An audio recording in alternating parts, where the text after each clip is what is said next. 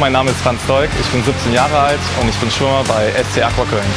Also ich bin mit der letzten Saison zufrieden.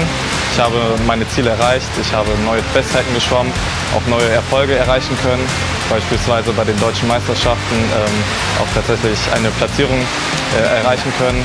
Und ja, zum Schwimmen bin ich ähm, durch meinen Vater gekommen. Dieser war selbst Schwimmer und hat mich sozusagen in das Schwimmerleben sozusagen eingeführt.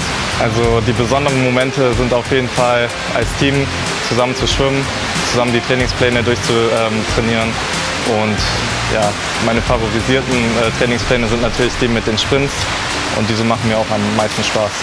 Also meine persönlichen Ziele sind es auf jeden Fall, ähm, mit meinem Schwimmen praktisch ein Sportstipendium in den USA zu bekommen und äh, dort meine Karriere fortzuführen.